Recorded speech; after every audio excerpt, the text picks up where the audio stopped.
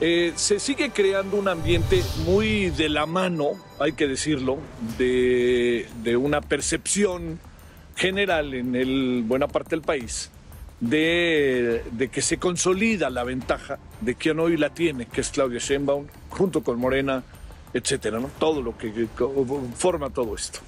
Para la oposición el asunto es cada vez más complicado, porque es evidente que trae broncas internas, es evidente que es una muy mala marca el PRI y el PAN, es evidente que el PRD está diluido y también es claro que aunque no sea su momento, lo puede llegar a ser, Movimiento Ciudadano está avanzando y avanzando mucho. Y yo creo que esto es algo que será muy importante considerar y consignar. La razón central de todo ello es que Movimiento Ciudadano, todo indica, está apostando para el 2030, pero lo que pasa es con esta elección es que también hay un clima en donde si la elección de repente se da por sentada, se da por definida, hay una natural, y usted y yo estaremos de acuerdo, natural este, pues de, de, desinterés, ¿no? Ya está todo decidido. Y si sale el voto duro, que es muy fuerte y muy importante de Morena, con eso será suficiente para ganar si hay un abstencionismo. Que además, pues digo, uno nunca sabe el día de las elecciones qué puede pasar con cada uno de nosotros, ciudadanos, si vamos o no vamos, aunque en principio todo el mundo este, opta y dice yo te voy a ir, etcétera.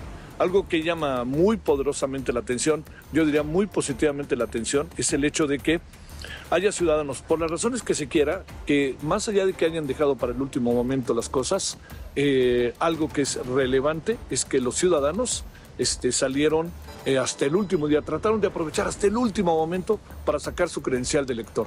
Eh, yo le diría que algo que ahí tenemos que considerar de manera relevante es que por las razones que se quiera, para el uso que se quiera de la credencial del INE, los ciudadanos salieron y aprovecharon hasta el último momento.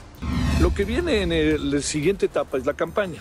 Ya sabe que pre-campaña y campañas casi son absolutamente lo mismo. Pero algo que le quiero comentar que me parece relevante es que si hay un terreno de definición que pareciera créame, no lo digo en un tono de, de, decir aquí ya pasó esto, pasó lo otro, porque no tengo elementos, uno no sabe cuál es el futuro, pero hay la gran batalla que va a enfrentar este país, está en algunos estados, pero sobre todo está en caso concreto el Congreso.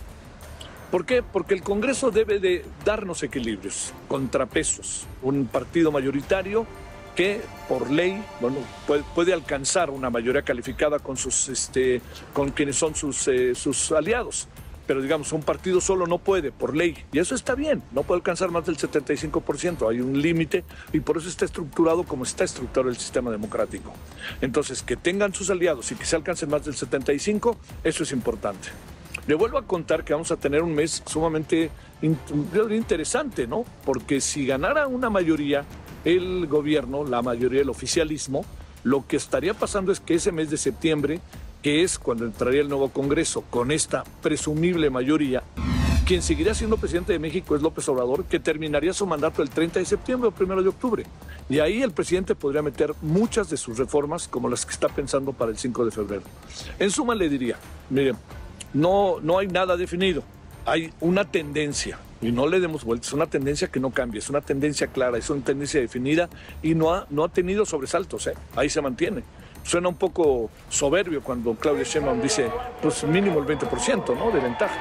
Pero habrá que ver qué hace Xochitl. Pero también hay algo que tenemos que entender. No sé si Morena sea la mejor opción, pero queda claro que PRI y el PAN a los ciudadanos les está cada vez, los ciudadanos están cada vez más distanciándose de ellos. Y además, con los líos en que se meten y las broncas en que se están dando, sobre todo en Coahuila, las cosas van ayudando a un terreno de definición. Veremos qué pasa en las campañas. Veremos si ahí cambian algunas cosas. Veremos si los debates, que no cambian nunca una elección, pero pueden ayudar a una percepción distinta de las candidatas. Y veremos qué pasa al final con usted y conmigo, que somos los que vamos a decidir las cosas el 2 de julio.